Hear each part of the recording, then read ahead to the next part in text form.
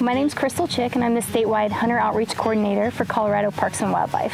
And I'm Jenny Sednick. I came out on uh, one of my first hunts uh, to just experience the day. Okay, Jenny, so now we're gonna start, go ahead and field dress her. We're gonna start off just by putting on our gloves. So this is the knife we'll start with. In here we also have a bone saw and this saw will help us when we get up to the rib cage to cut through that. And then we'll go ahead and probably actually cut through the pelvis on her as well. That'll open her up even more so we can get her cooled down as quick as possible. Mm -hmm. The three things that can ruin our meat is heat, moisture, and dirt. So we're gonna try and avoid those three things. The other thing, we're gonna make sure that just one of us is working a knife at, at a time. Uh, we only want one knife out so that if we're moving around or we kneel down, we wanna make sure that we're being safe and not accidentally kneeling on a knife. So we'll have one knife out at a time, one of us running the knife. That way we don't have to worry about fingers and, and everything getting in the way, okay? So we'll go ahead and come up this way and then I'm gonna actually switch sides with you. So if you can hold this leg, that's perfect right there, okay? Okay, the first cut that we're actually gonna make is gonna be right here in the pelvis area. And you always wanna make sure you have a good sharp knife when we're making these cuts. Okay, we're gonna go all the way down here to the bone. All right, so one of the things that we need to leave on the animal is we need evidence of sex left completely intact. Um, and it needs to be attached to the animal. Since we have a female here, we have the mammary glands. What we're gonna do is cut right up the abdomen, right between the mammary glands, and that's gonna leave evidence of sex on both of the hindquarters. That way, after we quarter her, we'll still have evidence of sex on two pieces. We're gonna make a cut right here from the pelvis all the way up to the sternum right here. Now this is where we need to be really careful not to cut too deep because we don't want to puncture the stomach. So this is, there's two different ways that we can do this. One way is that we can put our fingers under the hide like this and pull the hide up and then put the knife upside down and cut forward like this. That's gonna hold the stomach away from the hide as we cut. The other thing we can do is use this gut hook where we can just put the hook under the skin and come up to the sternum as well. Okay. So once you're through the hide, you'll actually feel your fingers go through mm -hmm. under the hide, and then that's when we'll be able to just work our way up slowly, and so we don't puncture any of the internal organs. And I'm kind of pushing down on the stomach with my fingers as I'm working the knife forward and making sure the tip of the knife doesn't get below my fingers to where we puncture that stomach.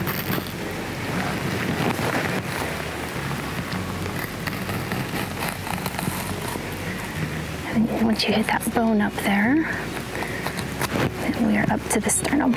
Okay, so now we can start seeing some of the internal organs here. Mm -hmm. We're gonna use our knife to go ahead and cut the hide all the way up to the neck, and then we'll get our bone saw to actually cut through the ribs.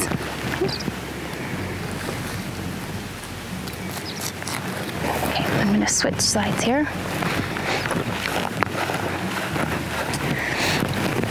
Okay, so here's where I'm just gonna cut the hide all the way up. I can use the gut hook a little bit for that, depending on how thick the hide is.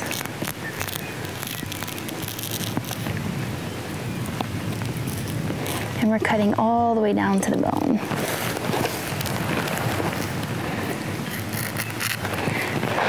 Okay. We're gonna cut up to the neck here as well and we want to pull this meat off as quick as we can. So the more we can open her up, the quicker it'll allow for that.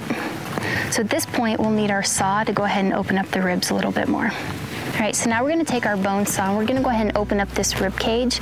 Now this is again where we have to be careful because we don't wanna puncture the stomach or anything like that. So we wanna make sure that we're not going too deep.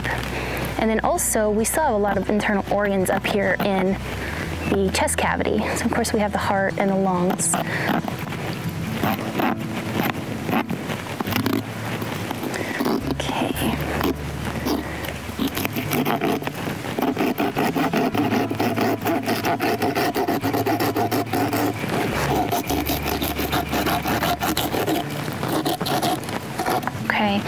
We're through all the ribs.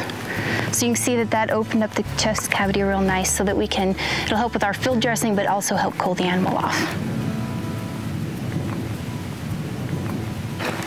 So now that we have this cut um, up through the ribs, we want to grab the esophagus and the windpipe and we want to cut it up, up as high as we can. And then that's kind of kind of work as our handle as we start pulling the organs towards the back. So you just reach down there until you feel the esophagus and the windpipe. So now I've got a hold of the esophagus and the windpipe. And I'm just going to cut across the top of that.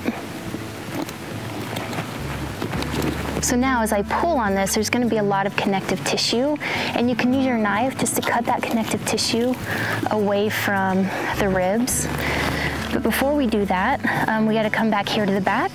We're gonna cut around the anus so that as we pull the esophagus and everything down, that we can actually push the intestines back up to pull everything out at once, okay? So we're gonna cut right here around the anus, trying to be careful not to puncture into the intestines.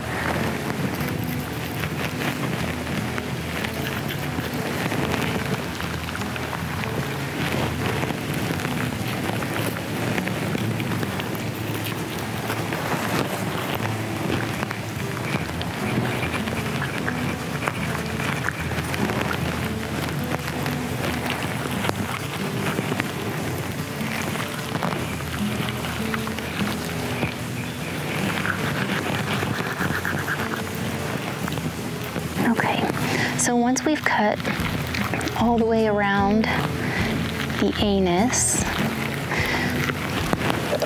I think we're gonna go ahead here and cut the skin down closer to the pelvis and you can kind of feel how that pelvis is starting to open up. Mm -hmm. We could then use our bone saw to cut through this pelvis to open it up even more.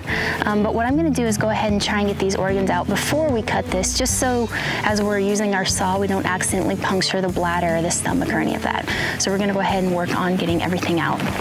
So we're gonna come back up here to the top. We talked a little bit about the esophagus and how that's gonna work kind of as a handle for us. So we're gonna grab the esophagus and start pulling back here. You can see all the organs are just starting to come as well.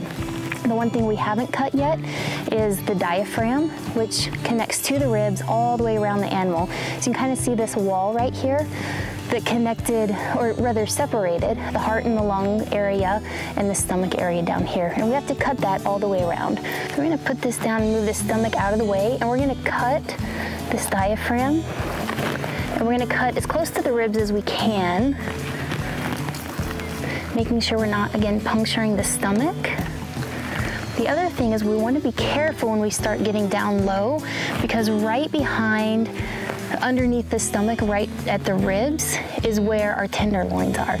And we wanna make sure as we're cutting that away that we don't puncture and cut our tenderloins. I'm gonna cut it again a bit on this side. And start pulling in here.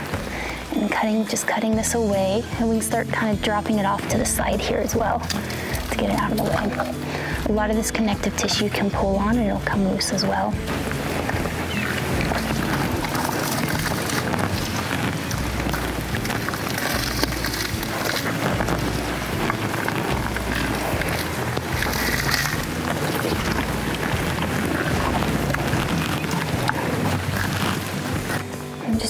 Careful again here not to puncture anything we don't want on our meat.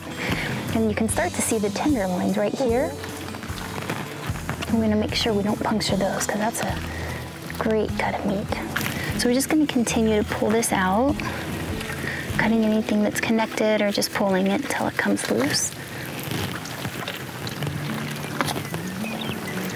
Okay, so we've got most of it out the front here. So now we need to pull stuff that's here in the back. And this is where you want to try not to puncture that bladder.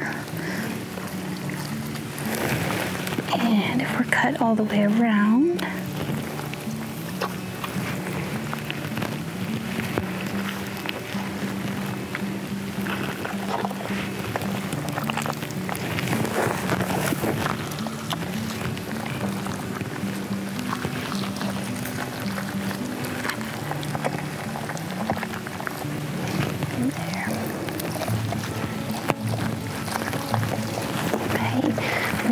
you can just pull everything off to the side.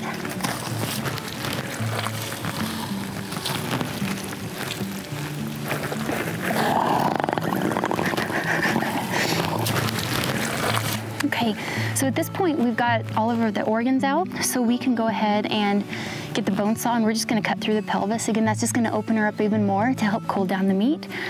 And we left our evidence of sex, and we have mammary glands on both sides. Mm -hmm. And when we skin her out and quarter her, we're gonna wanna make sure we leave that evidence of sex on each of the quarters. Mm -hmm. um, and then we're good to go.